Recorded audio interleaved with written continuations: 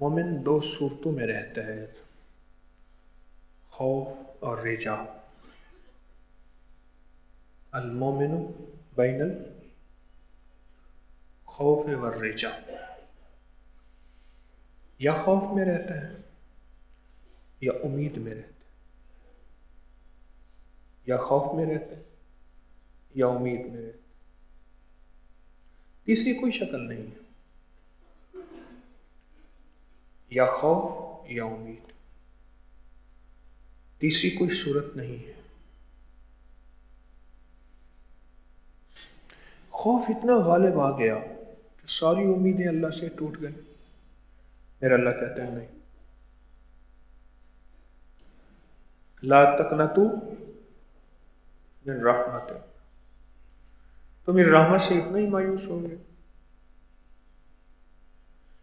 اور میری رحمت پہ اتنا ہی بھروسہ کر لیا، میری بخشش پہ کہ کوئی بات نہیں، اللہ ہی معاف کرے گا۔ اور کوئی بات نہیں، اللہ غفور الرحیم ہے۔ مومن دو صورتوں میں رہتا ہے۔ یا خوف اور پھر امید۔ میں کہ خوف ایسا ہو حضرت عمر رضی اللہ تعالیٰ عنہ امیر المومنین فرماتے ہیں، ایسا خوف کہ ساری دنیا کی بخشش کا اعلان ہو جائے اور ایک بندے کے بارے میں ہو کہ اس کی بخشش ممکن نہیں، وہ شاید میں ہوں۔ ایسا خوف، اور امید ایسے کہ ساری امتی جتنے بھی ہیں، ان میں سے اگر اعلان ہو کہ ہم کسی کو نہیں بخشیں گے اور ایک کو بخشیں گے، وہ شاید میں ہوں۔ امید ایسی اور خوف ایسا۔ ہم نے ان دونوں کے درمیان رہنا ہے۔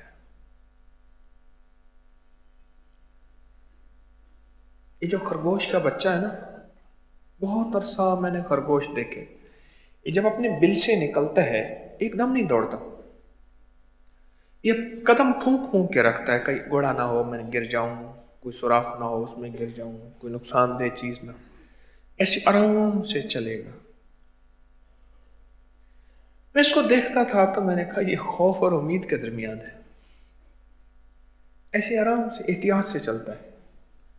اور پھر اس کو کوئی بھی تکلیف دہ چیز کا پتہ چل جائے، واپس اپنے بل میں چلا جاتا۔ چھوٹا سا، سفید سا ہوتا ہے، اتنا سا۔ ایسے جیسے کپاس ہو، روئی ہو۔ بس صرف منہ کے آگے تھوڑی سی مٹی لگی ہوتی ہے۔ وہ اللہ جانے کیوں لگی ہوتی وہ احتیاط سے نکلتا ہے اور آ کے راستوں کو احتیاط سے پرکھتا ہے۔ اور پھر جب راستے دیکھ لیتا ہے، پھر آنا جانا شروع کر دیتا ہے۔ ہماری زندگی کے سفر ہی غریب ہماری زندگی کے سفر ان دیکھے ہیں۔ اس لیے فرمایا، جو برزخ میں چلا گیا، موت میں آ گیا، دو خوفوں سے نکل گیا۔ ایک موت کا خوف ختم ہو گیا، موت آ گئی۔ ایک یہ خوف آگے کیا ہوگا؟ اس سے بھی نکل گیا، دیکھ لیا، جو ہونا تھا وہ ہو لیا۔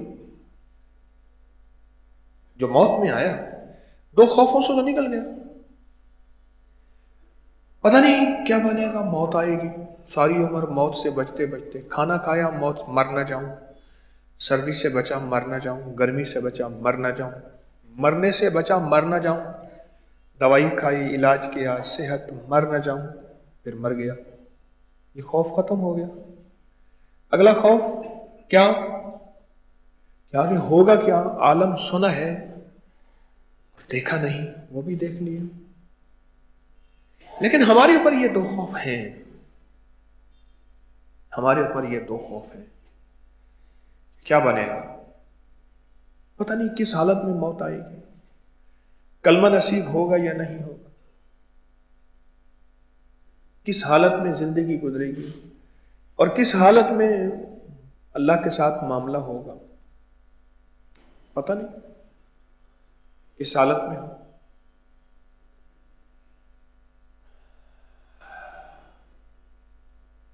یہ دو کیفیتیں ہماری زندگی پہ ہمیشہ رہنی چاہیے۔ جو ایک کیفیت میں رہے، مسلسل خوف میں رہے وہ اللہ کا وہ پسندیدہ آدمی نہیں ہے، وہ بندہ نہیں ہے جو میرا رب چاہتا ہے۔ اور ایک وہ ہو جو مسلسل امید پہ رہے۔ اور امید کے نام پہ ہر نافرمانی، ہر دو نمبری اور امید کے نام پہ ہر زندگی کا نظام چلاتا جائے، وہ بھی میرے رب کا پسندیدہ بندہ نہیں۔ یہ وظیفہ یہی امید ہوتا ہے، یہ امید ہے۔ اور جو نافرمانی پہ عذاب ہے کہ یہ کرو گے تو یہ ہوگا، وہ وہی خوف ہے۔ یہ وظیفہ یہی امید ہے کہ اسی امید پہ ہمیں زندگی گزرے گی۔